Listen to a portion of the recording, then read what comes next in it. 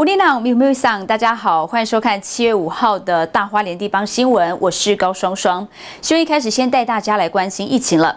花莲连续十七天是零确诊，那么县长徐祯卫以及秘书长张义华、卫生局长朱家祥下午三点在卫生局召开例行性的防疫记者会。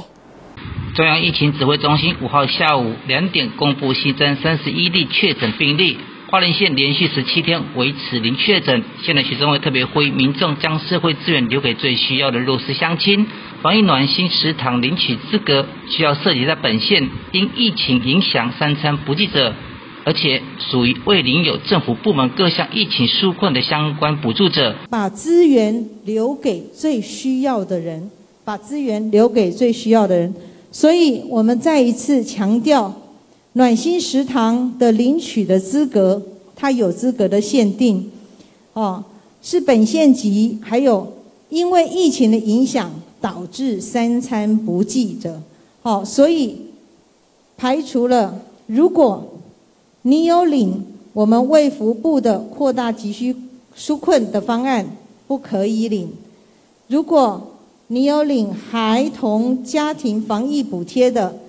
不可以领，不符合资格。如果关怀弱势，哦，行政院关怀弱势加发的这个福利金也不可以领。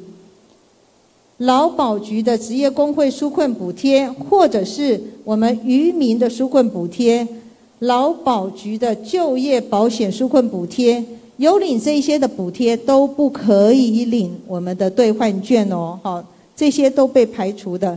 另外，我们国小弱势的儿童餐食补助这个部分，如果家里的孩子有领这个部分，也不符合资格来领我们的暖心食堂的兑换券。如果你是中低收入户，还有我们的身心障碍者，以及有领老农津贴、老人年金的，这些也都不符合补助领取兑换券的对象。所以再一次呼吁大家，把资源留给最需要的人。那你来的时候，你要带你的身份证正本，好。如果你是带领，你还是要带领，好，你还是要带当事人的身份证正本，而且必须要有一些表单表表单的填写。如果填写不实，还是有一些法律的责任。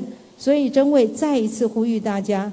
好，再一次呼吁大家，不需要呼朋引伴，您要协助的是，真的在这一次疫情当中，生活陷入困境、三餐不济的我们的花莲乡亲。现在许宗伟在记者会当中再次呼吁中央政府重视人民迫切需要新冠肺炎的需求，支持地方政府比照台积电、红海以及实际模式购得新冠疫苗。让县府得以尽速为全县乡亲施打新冠肺炎疫苗，让民众免于恐惧之中，并且早日回到正常生活。记者钟华收报道。